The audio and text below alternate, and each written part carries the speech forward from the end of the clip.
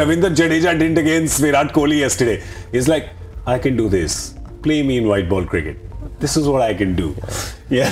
but I love the way he he completely did not want to cheer. Did you don't want to sledge your captain. You, A, you don't want to sledge your captain. I think the way he celebrated all three of his wickets yesterday, did it look like if Dant aaya hai Ah, Se? Like he's got scolded by him. He's trying to be the good boy today, but after he does something good, he's just gonna just be quiet, not celebrate. We've been uh, we've been talking about MS giving that responsibility to uh, to Ravindra Jadeja. You know, he's making sure that he's he's getting that game time and game time bowling. Yeah. You know, so which is going to be very key. So uh, MS is very smart that way. Like you know, he understands how important uh, Ravindra Jadeja's role is going to be as they get into the the the playoff uh, uh, phase of the tournament.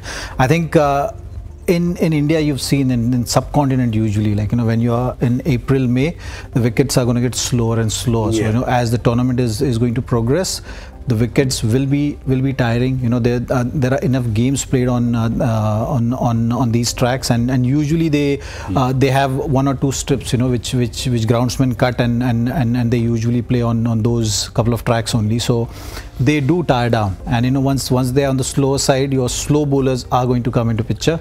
And uh, and that's you know something which ms is looking far ahead and saying that okay you know let me prepare my my arsenal in in, in that way